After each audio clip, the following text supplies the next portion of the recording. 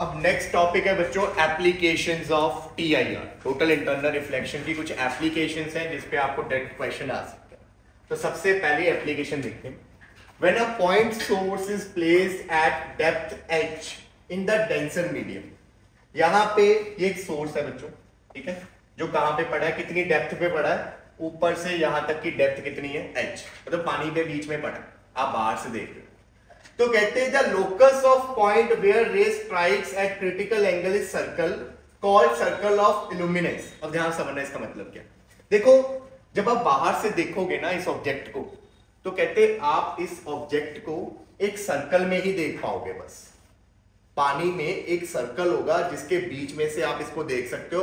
बाकी पानी जो होगा सर्कल के बाहर वाला जो पानी होगा ना सरफेस की बात कर रहा हूँ। सरफेस से आपने जब इसको देखना है कहते तो आप इसको एक सर्कल में ही देख सकोगे कि इतने इतने सर्कल में ही वो ऑब्जेक्ट दिखेगा, बाकी पानी में नहीं दिखेगा। अब ऐसा क्यों होता है? उस सर्कल को नाम क्या दिया इसने? सर्कल ऑफ़ इल्यूमिनेंस अब ऐसा क्यों है? देखो, यहाँ पे मैंने बोला, देखो, ऐसे रेज जा रही है, ऐसे ऐसे, इसमें से निकल के जा रही बहुत सारी रेज जा रही। ये रेज बाहर जाके क्या हो जाएँगी? रिफ्रेक्ट हो जाएँगी।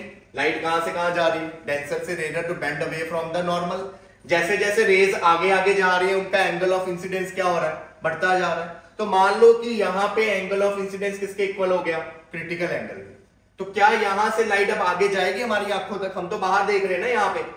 क्या हमारी आँखों तक जाएगी लाइट नहीं जाएगी, क्योंकि यहाँ से तो एंगल कितना हो जाएगा? रिफ्रेक्शन एंगल 90 अब जब लाइट इससे ज़्यादा एंगल पे गिरेगी तो क्या लाइट बाहर निकलेगी आँखों में? नहीं, वो कहाँ आ जाएगी? अंदर। तो सिर्फ़ कौन सी लाइट गई है हमारी आँखों तक? इस रे से पीछे पीछे वाली।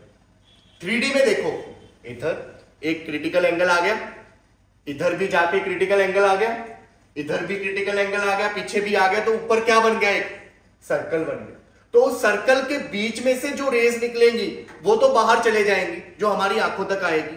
पर जो उस सर्कल के बाहर से रेज जाने लगी है, उनका angle of incidence critical angle से बड़ा या उसके इक्वल आ जाएगा, जिसके कारण रेज दूसरे मीडियम में जाएगी नहीं और हमारे आँखों तक पहुंचेगी नहीं। तो हमारे तक जो रेस पहुँच रही है, वो सिर्फ़ एक सर्कल में से निकल रही है। और उस सर्कल को क्या बोल दिया इसने? सर्कल ऑफ़ इल्यूमिनेंस और अगर आप इस सर्कल के ऊपर एक सर्कल शेप का कैप रख दो, ढक्कन रख दो एक तो आपको वो ऑब्जेक्ट दिखेगा ही नहीं। यही क्वेश्चन आ रहा है कि एक ऑब्जेक्ट पड़ा है, वो आपको दिखे ना तो बताओ उसके ऊपर कितना कवर करें उसे। कौन सी शेप का कवर करे? तो पहले तो ये पता लग गया कि सर्कल शेप में ही लाइट बाहर निकल, दिखेगी हमें। दिखेगी नहीं मतलब सर्कल शेप में से ही लाइट निकलेगी बाहर। और अगर आप चाहते हो कि आपको ऑब्जेक्ट ना दिखे तो आपको वो लाइट रोकनी पड़ेगी, जिसके कारण आप ऊपर क्या रख दोगे? सर्कल तो उस सर्कल का रेडियस कितना होगा? वो कैलकुलेट करना। तो यहाँ पे देखो, ये सर्कल का रेडियस कितना है? आर लाइट जब निकल रही है तो नीचे से कौन सी शेप बन गई? कोन तो आप ध्यान से देखो आर का ये रिलेशन है। H by one minus mu square का रूट ठीक है, ये आर का रिलेशन है. अब ये रिलेशन आया कैसे वो देखते हैं. तो उसके लिए देखो सबसे पहले, यहाँ से देखना इस चीज़ को. यहाँ पे देखो, ये जो लाइट थी, ये किस एंगल पे गिरी थी? क्रिटिकल एंगल पे. है ना? क्रिटिकल एंगल पे गिरने पे इसका रिफ्लेक्टेड एंगल कितना आ गया था? 90 और बाउंड्री लाइन तो यही है. इसके इस साइड वाली लाइट जो है, वो बाहर निकलेगी. और क्रिटिकल एंगल के उस साइड वाली जो लाइट गिर रही है, वो बाहर नहीं दिखेंगी। जिनका एंगल क्रिटिकल एंगल से बड़ा होगा तो ये बाउंड्री सर्कल का लास्ट पॉइंट ये वाला है। अब यहाँ पे अगर ये क्रिटिकल एंगल है बच्चों तो यहाँ पे ये भी एंगल कितना होगा? क्रिटिकल एंगल क्योंकि ये ऑल्टरनेटिंग पेयर बना रहे हैं ऐसे। बना रहे हैं ना? अब उसके बाद आपको निकालना है रेडियस रेडियस के लिए हम क्या यूज़ करेंगे पहले? साइन ऑफ़ इंसिडेंट एंगल तो उसके लिए देखो ये वाला ट्रायंगल इस ट्रायंगल में ये एंगल कितना हो गया? 90 तो इस ट्रायंगल में यहाँ दो एंगल है तो ये बन गया बेस ये बन गया परपेंडिकुलर और ये बन गया हाइपोटेनस मैंने साइन इसलिए लिया क्योंकि मेरे पास क्रिटिकल एंगल भी नहीं था। मुझे वो भी गायब करना है। और मुझे पता है कि mu is equal to one by क्या होता है? साइन ऑफ़ क्रिटिकल एंगल तो यहाँ से साइन की डायरेक्ट वैल्यू मेरे पास आ जाएगी। Sine of critical angle is what one by mu. इसलिए मैंने यहाँ साइन लिया। अब ट्रायंगल में साइन देखो। ट्रायंगल में साइन होएगा perpendicular upon hypotenuse. Perpendicular is R. Hypotenuse नहीं पता तो निकाल देंगे कैसे? अंडर रूट ऑफ़ परपेंडिकुलर का स्क्वायर प्लस बेस का स्क्वायर। क्लियर ये चीज़? अब साइन आईसी की जगह क्या आ जाएगा? One by mu. इधर आ गया बच्चों R by under root R square plus H square हमें किसकी वैल्यू चाहिए? आर की। क्या करोगे आप? ये अंडर रूट वाली टर्म ऊपर ले गए और इधर म्यू हम ऊपर अब आपने अंडर रूट गायब करना है तो दोनों तरफ़ क्या कर दोगे? स्क्वायर स्क्वायर किया तो यहाँ बन गया R square plus mu square और इधर बन गया mu square R square plus H square और इधर बन गया mu square R square H square is equal to mu square R square minus R square H is equal to mu square minus one R square तो R square is H square by mu square minus one तो R is H by under root mu square minus one तो ये फॉर्मूले में थोड़ी गड़बड़ है. This is mu square minus one अच्छा हुआ, हमने ये फॉर्मूला डराइव कर दिया, ठीक है? एक फ़ायदा ही हो गया अपना। तो ये फॉर्मूले में थोड़ी सी गड़बड़, ध्यान से देखना आप। H by under root mu square minus one ठीक है? ये भी गलत है। H by under root mu square minus one इसी एप्लीकेशन पे बेस्ड एक न्यूमेरिकल देखिए A point source of light S is placed at the bottom of a vessel containing liquid of refractive index 5 by 3. तो वही बोला गया यहाँ पे, आपके पास एक लिक्विड है कहते।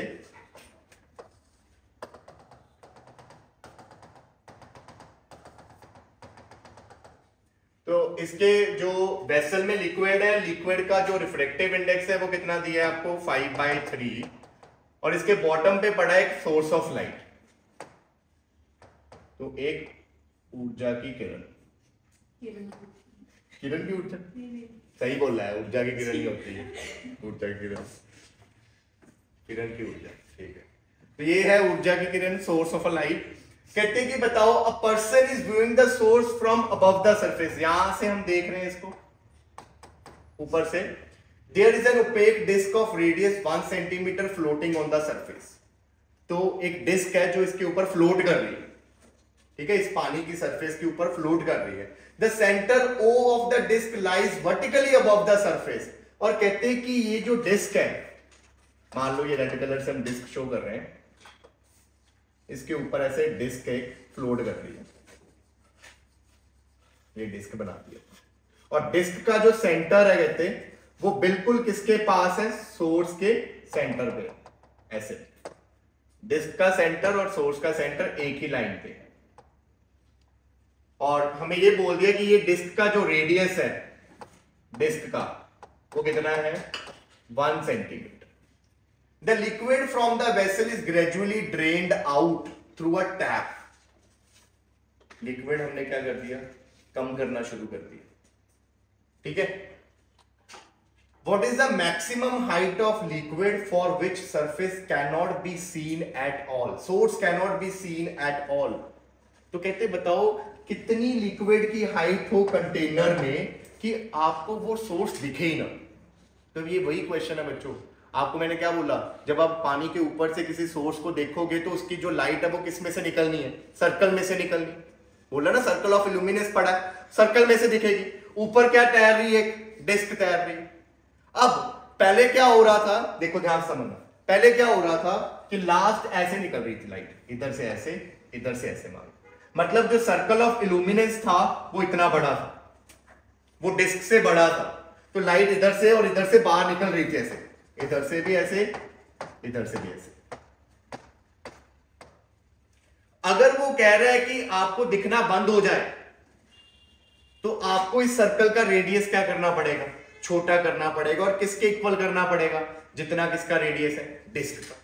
कि आपका सर्कल ऑफ़ इल्यूमिनेंस और डिस्क जो है, वो क्या हो जाए? सेम हो जाए, ताकि डिस्क उसके ऊपर आ जाए सर्कल ऑफ़ इल्यूमिनेंस के ऊपर आ जाए और आपको दिखना क्या हो जाए? बंद हो जाए। इसका मतलब वी वांट कि डिस्क का रेडियस और हमारे सर्कल इल्यूमिनेंस सर्कल का रेडियस क्या हो जाए? सेम हो जाए।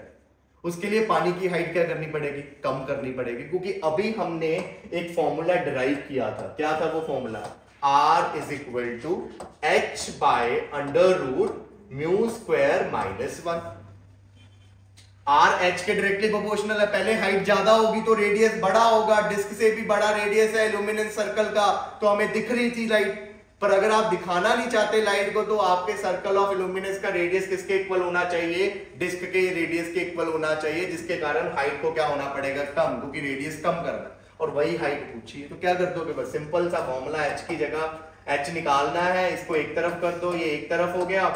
आर की जगह आर की वैल्यू किसके इक्वल करना है? डिस्क के रेडियस के इक्वल वन सेंटीमीटर मतलब zero point zero one mu square कौन है? पानी है। पानी का रिफ्रेक्टिव इंडेक्स इज़ व्हाट 1.33 तो यहाँ पे 1.33 का स्क्वायर माइनस वन बाकी काम आप पे है। सॉल्व करो और हमसे निकाल दो। और आईआईटी की प्रॉब्लम है, देख लो। आजकल सीबीएसई भी डाल देते बताना कितना है? ठीक। One by one point three three में लिखना। अरे 1.66 होता है हाँ वही ना, गलती हो गई हमसे sorry one point three three नहीं होता अभी। कितना होता है? फाइव बाई थ्री होता है, वन बाई सिक्स सिक्स होता है। Thank you. समझ गए? ये पानी नहीं दिया हुआ, हमें रिफ्लेक्टिव इंडेक्स दिया है, ये बोलो। पानी नहीं दिया हमें हमें लिक्विड दिया है, और उसका रिफ्लेक्टिव इंडेक्स दिया है, इसलिए 1.33 नहीं लेना। 5 बाई थ्री का स्क्वायर लेना, फिर तो इजी हो जाएगी कैलकुलेशन 0.01 अंडर रूट फाइव का स्क्वायर बाई थ्री का square minus one zero point zero one under root five square minus three square by three square ये क्या बन जाता है ऊपर? फोर फोर बाई थ्री आ जाएगा आ जाएगा ना? 25 माइनस नौ, सोलह सोलह का अंडर रूट चार, नीचे नाइन का, थ्री का स्क्वायर तो ऐसी बाहर आ जाएगा। अब इसको आगे सॉल्व कर देना अब आंसर आ। क्लियर तो रिफ्रेक्टिव इंडेक्स 5 बाई थ्री था 1.33 नहीं था। पानी होता तो 1.33 तो next question is the refractive index of water is 4 by three अब पानी है क्वेश्चन में 1.33 मतलब 4 by 3 obtain the value of semi-vertical angle of cone within which the entire outside view would be confined for a fish underwater. तो आपके पास यहाँ पे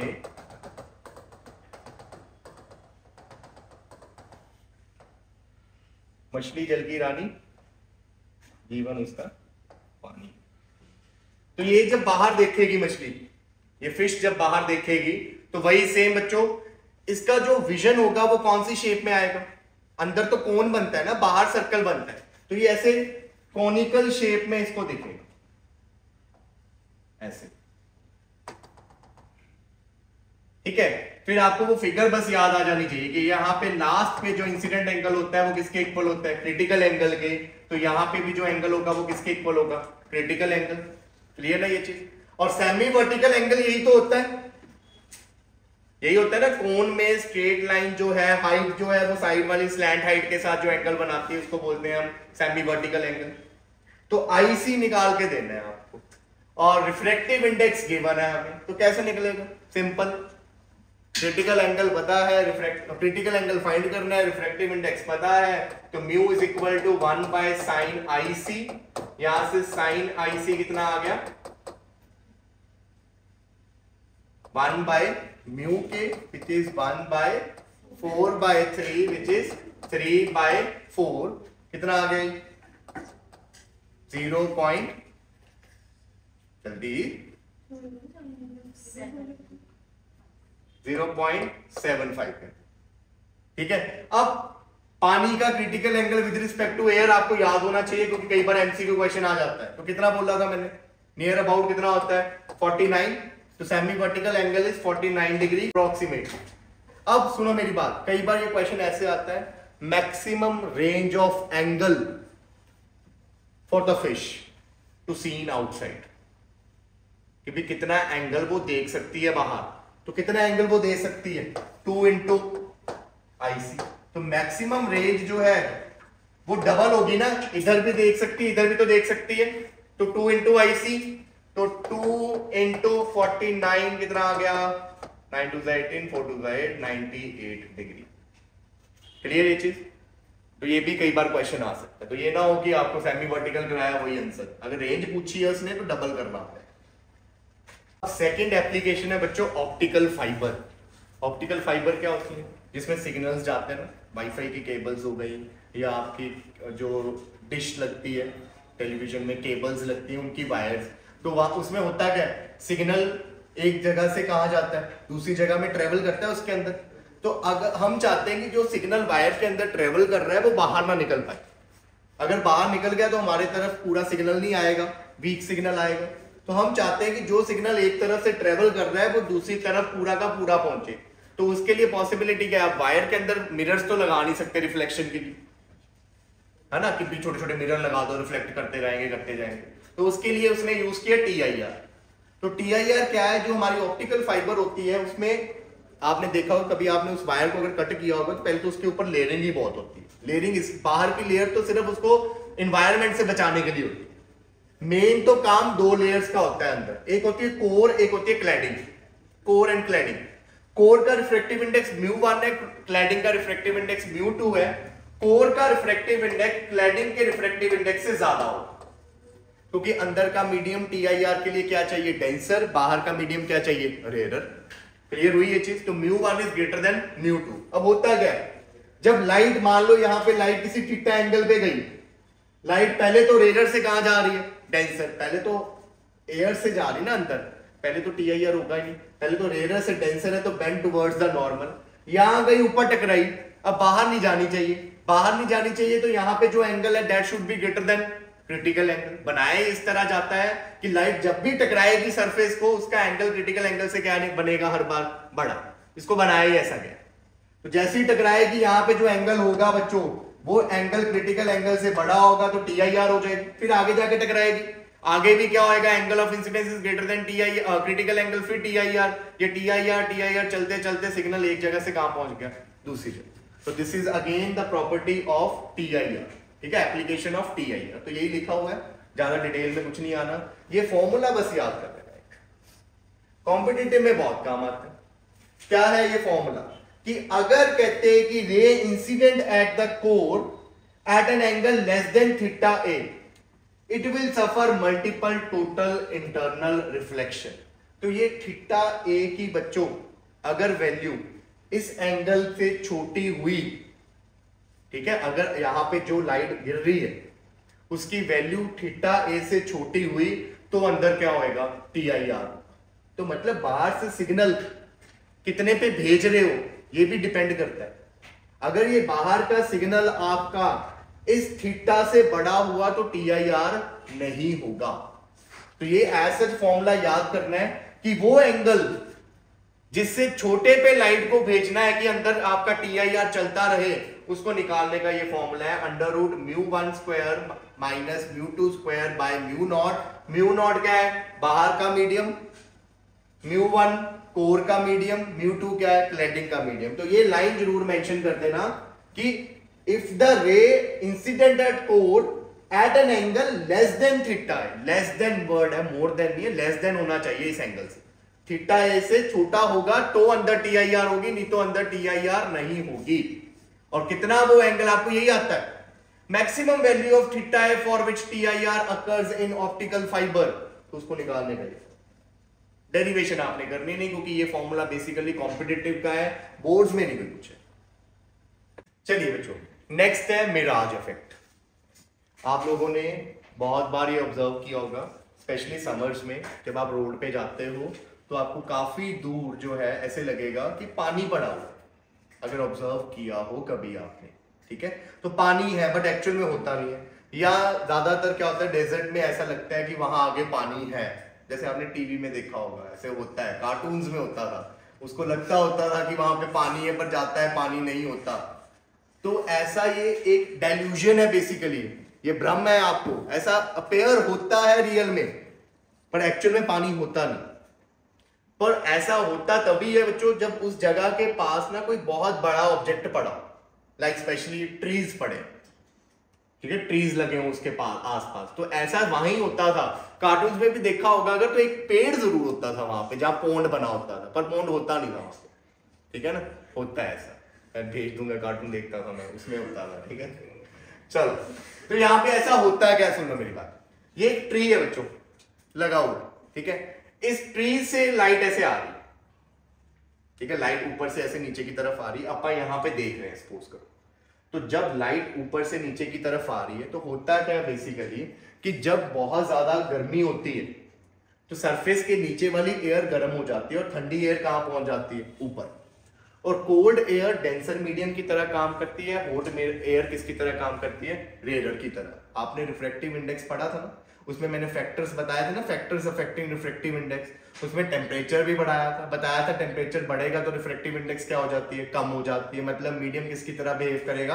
rare medium की तरह। क्योंकि जिस मीडियम का रिफ्रेक्टिव इंडेक्स कम होता है, वो कौन सा मीडियम बन जाता है? रेयर मीडियम तो नीचे वाला मीडियम क्या है? रेयर ऊपर वाला मीडियम क्या है? डेंसर तो होता क्या है? जैसे जैसे लाइट ऊपर से नीचे की तरफ़ आ रही है तो देखो, बहुत सारी लेयर्स बन गई है, ऐसे। हर लेयर ऊपर वाली लेयर के कंपैरिजन में कौन सी लेयर होगी? रेयर तो यहाँ पे लाइट पहले आई। मान लो यहाँ ट्री का टॉप था ठीक है? यहाँ से लाइट आई। यहाँ टकरे ये आई एंगल अब लाइट कहाँ से जा रही ऊपर वाली डेंसर है, उसके कंपैरिजन में नीचे वाली क्या है? रेयर तो नीचे वाला जो रिफ्रेक्टेड एंगल है, वो इंसिडेंट एंगल से बड़ा हो जाएगा या छोटा? जब लाइट डेंसर से रेयर जाती है तो रिफ्रेक्टेड एंगल क्या हो जाता है? बड़ा हो जाता है। तो यहाँ पे ये बड़ा एंगल हो गया। ये ऐसे बेंड गई कर गई ऐसे? तो अब यहाँ पे जो इंसिडेंट होगा, ये आई वन एंगल है, ये क्या है? आई टू एंगल ये पहले से क्या हो गया? पहले वाले इंसिडेंट एंगल से अब वाला इंसिडेंट एंगल क्या हो गया? बड़ा हो गया। तो इंसिडेंट एंगल बढ़ गया। अब लाइट फिर कहाँ से कहाँ जा रही है? अब ये डेंसर है, ये नीचे वाला उसके कंपैरिजन में क्या है? रेरर है। तो लाइट दोबारा से डेंसर से रेरर जा रही है। तो अब जब लाइट यहाँ जाके टकराएगी तो यहाँ इसका इंसिडेंट एंगल पहले से भी क्या हो जाएगा? बड़ा होता जाएगा। मतलब जब लाइट ऊपर से नीचे की तरफ़ आ रही है तो ऊपर डेंसर नीचे रेरर फिर नीचे डेंसर उसके नीचे रेरर ऐसे करते करते हर बार लाइट का इंसिडेंट एंगल दूसरे मीडियम में जाके क्या हो रहा है? बड़ा होता जा रहा है। इंसिडेंट एंगल बढ़ता जा रहा है, बढ़ता जा रहा है। एक तो टाइम ऐसा आएगा जिसमें इंसिडेंट एंगल क्रिटिकल एंगल से क्या हो जाएगा? बड़ा हो जाएगा। तो लाइट आगे जाने की जगह क्या हो जाएगा? पीछे चला जाएगा। तो यही हो रहा है यहाँ पे। ये ऐसे बेंडिंग करते करते एक टाइम पे आके यहाँ पे लाइट का जो इंसिडेंट एंगल है, वो क्रिटिकल एंगल से क्या हो गया? बड़ा हो गया, जिसके कारण लाइट क्या हो गई? रिफ्लेक्ट होगी जब ये लाइट रिफ्लेक्ट हुई, हमारी आईज में बढ़ी तो हमारी आईज ने तो ब्रेन को यही सिग्नल देना है कि इमेज कहाँ बन रही है? यहाँ बन रही है। अब क्योंकि सारी रेस यहाँ नहीं पहुँची, सारी रेस टी आई आर नहीं करेगी ना, सारी रेस का एंगल तो नहीं होगा, कुछ तो अभी भी क्या होगी क्रिटिकल एंगल से छोटी होगी। तो कुछ ही रेस हमारी आइस तक पहुँच रही है तो वो इस ट्री की ब्लरी इमेज यहाँ बना देगा। एक ब्लरी इमेज ठीक है? और ऊपर से आपको ये पता है कि टेम्परेचर है एटमॉस्फेयर की लेयर्स मूव कर रही हैं। तो वो जो ब्लरी इमेज है, क्योंकि मीडियम मूव कर रहा है तो वो ब्लरी इमेज भी क्या कर रही है? ऐसे ऐसे मूव कर रही है। और आपके ब्रेन को यही सिग्नल मिल रहा है कि वहाँ पे क्या कर रहा है? पानी जो है, वो क्या कर रहा है? मूव कर बट एक्चुअल में वो क्या है? इस ऑब्जेक्ट की ब्लरी इमेज है। तो रोड्स पे भी ऐसा ही होता है, रोड्स के आसपास ट्रीज लगे होते हैं। वो ट्रीज की ब्लरी इमेज आपको रोड पे दिखाई देती है और आपका ब्रेन उसको पानी समझ लेता है, क्योंकि वो ऐसे ऐसे हिल रही होती है। क्लियर ये चीज़? तो this is all about mirage effect आपको पेपर में आएगा नहीं व्हाट इज़ मिराज ठीक है? नाइन टेंथ का क्वेश्चन है ये। चलो, आगे बढ़ते हैं। नेक्स्ट है बच्चों ब्रिलियंस ऑफ़ डायमंड डायमंड, जब आपको मिलता है तो वो इतना नहीं चमकता होता। डायमंड को कौन चमकाता है? तराशने वाला डायमंड को चमकाता है बेसिकली ठीक है ना? जो डायमंड की चमक है ना, वो जो उसको तराशता है, तराशता मतलब जो उसकी कटिंग करता है, उसके हाथ में होती। समझ लगी ये चीज़? तो यहाँ पे डायमंड की जो ब्रिलियंस है, वो भी टी आई आर पे इफ़ेक्ट मतलब बेस्ड है। डायमंड की कटिंग इस तरह की जाती है। डायमंड को देखा होगा अगर आपने तो उसकी कटिंग इस तरह होती है। बड़ा शार्प शार्प एजेस होते हैं उसके। उसको कट इस तरह किया जाता है कि जब लाइट उसमें देखो एक बार लाइट एंटर कर गई। लाइट एंटर तो कर जाएगी क्योंकि लाइट रेडर से कहा जा रही है डायमंड के अंदर डेंसर में। तो रेडर से डेंसर में तो लाइट चले जाएगी। पर जब डायमंड से लाइट ने बाहर निकलना है, जब डायमंड से लाइट ने एयर में जाना है तो जब वो डायमंड की सरफेस पे जाके टकराएगी ऐसे इसको इस तरह कट किया हुआ है कि जो इंसिडेंट एंगल आएगा, वो क्रिटिकल एंगल से बड़ा ही हो जाएगा हर बार। जिसके कारण जो लाइट है, वो डायमंड के अंदर से बाहर ही नहीं निकल पाती। डायमंड के अंदर ही ट्रैप हो जाती है। क्योंकि डायमंड की कटिंग इस तरह की गई है, क्योंकि डायमंड का यहाँ पे पहले तो देखो क्या लिखा गया कि कटिंग इस तरह की जाती है कि उसका क्रिटिकल एंगल कितना बन जाता है? 24 डिग्री इतना छोटा कर दिया क्रिटिकल एंगल और इतना कम क्रिटिकल एंगल होने के कारण जब भी लाइट उसकी कटिंग इस तरह की हुई है कि लाइट जब भी उस पर गिरेगी, उसका एंगल ऑफ़ इंसिडेंस 24 डिग्री से क्या रहेगा? बड़ा ही रहेगा। तो कटिंग की गेम है सारी।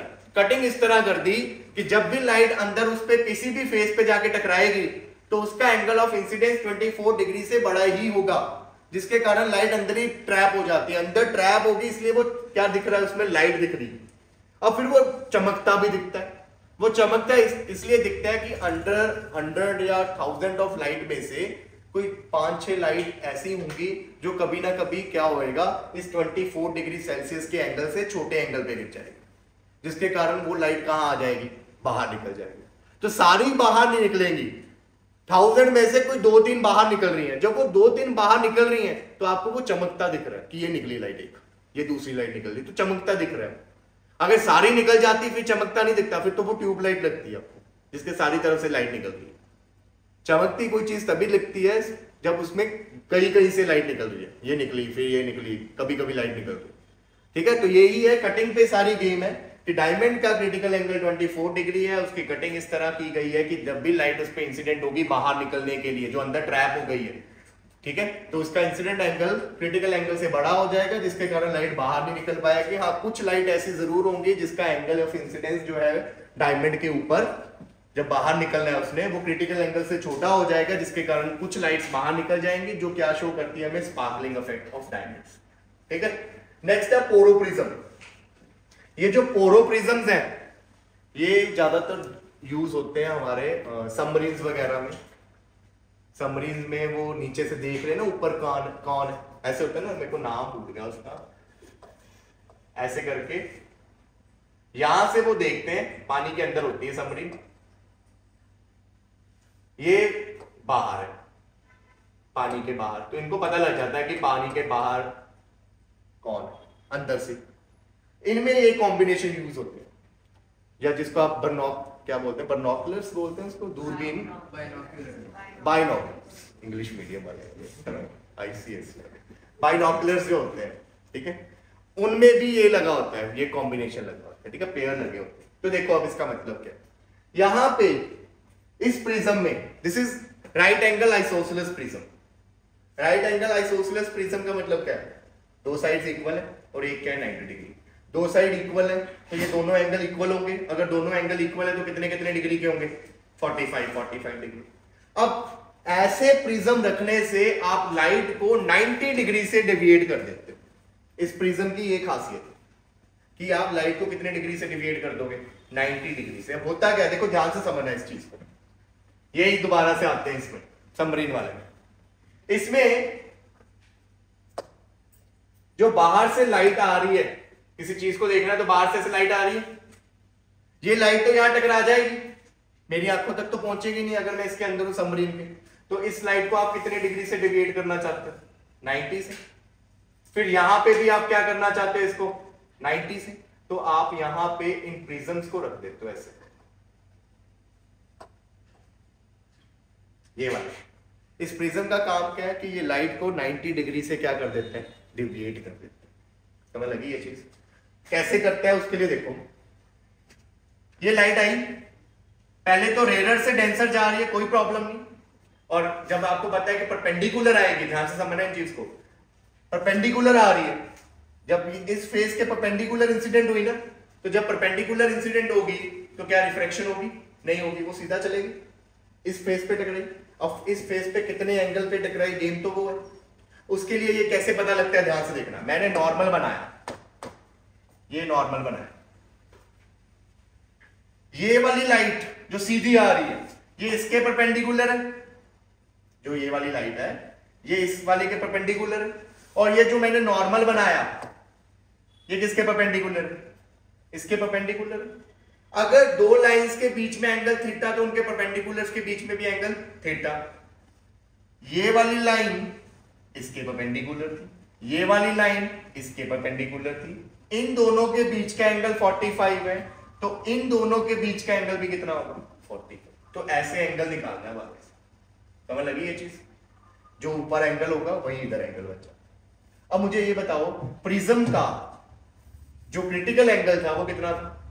42 यहाँ पे ये कितना एंगल पे इंसिडेंट हो रही है? 45 तो क्या होएगा टी आई आर क्योंकि इंसिडेंट एंगल अब लाइट ने कहा जाना था? लाइट ने डेंसर से कहा जाना था? रेयर तो टी आई आर दिमाग में रखना angle of incidence is greater than critical angle तो टी आई आर हो जाएगा।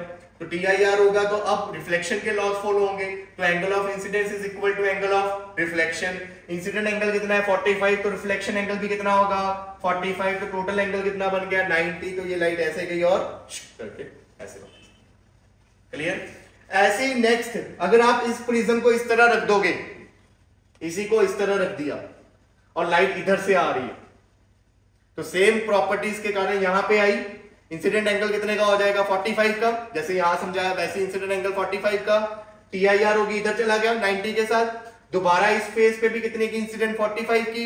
दोबारा से दोबारा हो गया T I R ninety degree तो टोटल डेविएशन कितनी हो गई?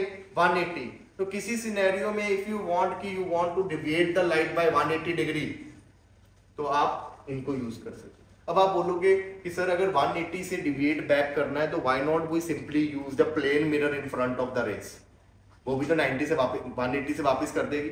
तो डिफरेंस वही है, मैंने बोला था मिरर जो है, वो भी 0.1 परसेंट लाइट को क्या कर लेती है? एब्जॉर्ब कर लेती है। पर यहाँ पे कौन सा फिनोमिना चल रहा है? T I R T I R में 0.1 परसेंट भी लाइट जो है, वो बाहर नहीं जाएगी। सारी की सारी लाइट क्या आ जाएगी? अंदर आ जाएगी। तो 180 की डेविएशन के लिए इसे यूज़ करते हैं। और अगर आप अपनी लाइट अपनी रेस को इन्वर्ट करना चाहते हो, या अपनी इमेज को उल्टी करना चाहते हो तो आप इस कॉन्फ़िगरेशन को यूज़ करते हो। तो ये तीनों कॉन्फ़िगरेशंस बना के रखना, क्योंकि ये बहुत बार आती है एग्ज़ाम्स में। तीनों को बना रहे ठीक है? पता लग गया ना इंटरफेस पे एंगल कितने का बनता है? 45 के जाके इंसिडेंट होता है क्रिटिकल एंगल 42 डिग्री है तो वो क्या कर देगा उसको? टी आई आर कर देगा। क्लियर ये चीज़? नेक्स्ट देखिए। Example, what should be the value of theta so that light entering normally through the surface AC of prism जिसका रिफ्रेक्टिव इंडेक्स 3 by 2 दिया है does not cross the second refracting surface दूसरी surface को cross ना कर पाए। तो देखो पहले डायग्राम बनाते हैं। अगर ये 90 है बच्चों साइड वाला थीटा है तो ये कितना होगा? बताओ 90 minus theta angle sum property लगा दी ना, इसको x मान लेना, x plus ninety plus theta is equal to one eighty वहाँ से x कितना आ गया? 90 माइनस थीटा अब ये लाइट यहाँ से तो बिल्कुल सीधा चले जाएगी ऐसे, क्योंकि परपेंडिकुलर आ रही थी। यहाँ पे बनेगा नॉर्मल ये एंगल कितना होगा? 90 माइनस थीटा यहाँ पे गिवन ही है ना 45 वाला। तो ऊपर वाला एंगल ही नीचे बन जाएगा। अभी जो समझाया आपको ठीक है ना? तो दिस इज़ 90 माइनस थीटा जो यहाँ पे एंगल है, वही यहाँ पे बन जाता है। अब आप चाहते हो कि लाइट दूसरी तरफ़ ना जाए तो मैं क्रिटिकल एंगल को लेके चलूँगा इस क्वेश्चन में। तो ये लाइट ऐसे ग्रेस कर जाएगी। क्वेश्चन कई बार ऐसे भी आ सकता है कि ग्रेसेस कर गई। तो इसका मतलब क्या है? कि this 90 minus theta is equal to what critical angle जब लाइट का इंसिडेंट एंगल क्रिटिकल एंगल के इक्वल होता है तो लाइट सरफेस पे ग्रेस कर जाती है। उसने यही बोला, दूसरी तरफ़ नहीं जानी चाहिए, मैंने ग्रेस करवा दी। ग्रेस क्यों करवाई? क्योंकि क्रिटिकल एंगल निकालना इजी है।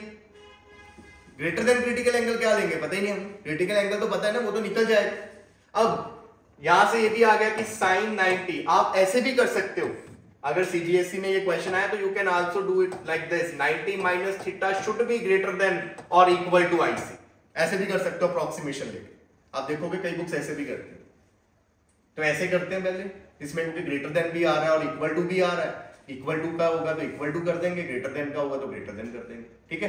तो यहाँ पे 90 minus theta is greater than और इक्वल टू आईसी तो sine 90 minus theta should be greater than और इक्वल टू साइन आईसी दोनों तरफ़ साइन साइन ले लिया आपका sine 90 minus theta is what cos theta तो cos theta should be greater than or equal to sin IC and sin IC किसके equal होगा? बकलो mu medium is equal to one by sine IC बाहर तो air ही है ना? और medium कौन है अपना? प्रिज्म या ग्लास तो यहाँ पे आ जाएगा वन बाय म्यू ठीक है? तो यहाँ पे cos theta is greater than equal to one by mu cos theta is greater than और equal to one by mu की जगह क्या आ गया? थ्री बाय टू क्या दिया ना रिफ्रेक्टिव इंडेक्स एन लिख दिया उसने। तो cos theta is greater than और equal to two by three तो थीटा इज़ ग्रेटर देन और equal to cos inverse two by three तो यहाँ पे हम इक्वलिटी लेके क्वेश्चन कर देते हैं। अगर इक्वल टू हुआ तो ये कर देना और ग्रेटर देन हुआ ये। तो अगर क्वेश्चन में आता what is the minimum value तो मिनिमम वैल्यू में इक्वल टू कर दो। मैक्सिमम वैल्यू के लिए ग्रेटर देन का sign clear so one of the most favourite question of CBSE आपके पास प्रिज्म ठीक है? प्रिज्म के ऊपर तीन कलर की लाइट आ रही है। ब्लू ग्रीन रेड हमने ये भी बोला था। रिफ्रेक्टिव इंडेक्स वेवलेंथ के साथ क्या हो जाता है? चेंज हो जाता है। जिसकी वेवलेंथ ज़्यादा, उसकी रिफ्रेक्टिव इंडेक्स कम। तो यहाँ पे रेड ब्लू और ग्रीन के लिए इसकी जो रिफ्रेक्टिव इंडेक्स होगी वो अलग अलग हो जाएगी और गिवन है। कि refractive index of material of prism for the red green and blue wavelength is this this and this तो ध्यान रखना प्रिज्म तो वही है, पर लाइट की वेवलेंथ बदल गई तो प्रिज्म ने अपना अपना रिफ्रेक्टिव इंडेक्स भी क्या कर दिया? बदल दिया। और आपसे पूछा है कि out of the three which colour ray will emerge out of face AC तो इनमें से तीनों में से कौन सी रेज यहाँ से बाहर आ जाएगी? और फिर बोल रहा है जस्टिफाई योर आंसर फिर बोल ट्रेस भी करो उनका पाथ पहले इतना करते हैं, फिर सेकंड पाथ करेंगे। तो अब देखो ध्यान से। यहाँ पे लाइट ये एंगल कितना होगा पहले तो? ये 90 ये 45 है तो ये भी कितना होगा? 45 तो आपको ये पता लग गया कि ये एंगल है 45 तो जब ये लाइट आई, यहाँ टकराएगी, तीनों लाइट्स जब आके टकराएँगी तो यहाँ पे जो एंगल होगा वो कितने का होगा? 45 क्लियर तो अगर आप चाहते हो कि लाइट बाहर ना निकले टी आई आर हो ठीक है? For T I R your incident angle should be greater than critical angle greater than और equal to what critical angle clear ये चीज़? फिर उसके बाद, हमारा इंसिडेंट एंगल तीनों रेस के लिए कितना है? 45 डिग्री यही है ना? फिर तीनों हमने क्या कर दिया दोनों तरफ़ साइन ले लिया साइन इसलिए ले लेते हैं क्योंकि साइन ऑफ़ क्रिटिकल एंगल की वैल्यू निकल जाती है। Sine 45 is what 1 by root कोई डाउट यहाँ पे sine of IC is what 1 by mu कोई डाउट यहाँ पे चल, नहीं डाउट अब वन यहाँ से अगर रेसिप्रोकल कर दो तो रेसिप्रोकल करने के बाद, क्या रेसिप्रोकल करने के बाद मैथमेटिक्स वालों, ये जो बीच की इनइक्वालिटी है, वो चेंज होगी?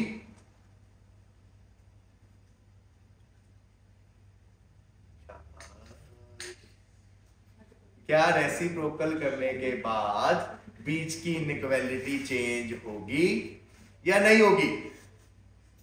होगी? एग्ज़ाम्पल से बता देते हैं। One by two is greater than one by three है ना? One by two is zero point five one by three zero point three three अगर मैं रेसिप्रोकल कर दू टू और थ्री तो चेंज होगी। होगी। ये देख लो हाल। लीनियर इनक्वालिटी आवाज़ तो निकल नहीं रही। चल ठीक है, बोल रहा तो इनक्वालिटी चेंज होगी। अगर आप रेसिप्रोकल कर रहे हो तो इनक्वालिटी चेंज होगी। तो यहाँ पे म्यू जो आया बच्चों, अब रेसिप्रोकल किया तो म्यू इज़ ग्रेटर देन और इक्वल टू रूट टू तो म्यू इज़ ग्रेटर देन और इक्वल टू 1.414 तो जिस लाइट जिस लाइट के लिए रिफ्रेक्टिव इंडेक्स मीडियम का 1.414 से बड़ा होगा, उस केस में क्या हो जाएगी? टी आई आर हो जाएगी। तो रेड के लिए जो म्यू की वैल्यू वो कितनी है? ए बी सी में जो यहाँ पे रेड वाली है, उसके लिए कितना है? रेड के लिए 1.39 क्योंकि आगे रेड लिखा ना। तो रेड के लिए कितना है? 1.39 उसके बाद ग्रीन के लिए कितना है? 1.44 और उसके बाद ब्लू के लिए कितना है? 1.47 तो मुझे बताओ टी आई आर किसमें होगा? टी आई आर ग्रीन में हो जाएगा क्योंकि उसकी म्यू की वैल्यू 1.41 से बड़ी है और ब्लू में हो जाएगा, पर रेड में टी आई आर नहीं होगा। तो अब आप देखो यहाँ पे, ध्यान से। पाँच प्रेस करेंगे अब इसके। तो पहले ब्लू की बात करें, यहाँ आएगा। 45 पे। तो 45 पे इंसिडेंट हुई है तो 45 पे क्या हो जाएगी? रिफ्रेक्टेड तो ऐसे चले जाएगी। इस फेस में तो परपेंडिकुलर जाके गिर रही है ना, यहाँ से तो टीआईआर भी नहीं होनी, ना नॉर्मल रिफ्रेक्शन होनी। 90 डिग्री पे गिरती तो सीधे ही चले जाएगी। ऐसी रेड ग्रीन वाले की बात करें बच्चों तो वो भी ऐसी आ जाएगी। 45 यहाँ से क्या आ गई? ऐसे 90 पे नीचे डिविएट हो गई।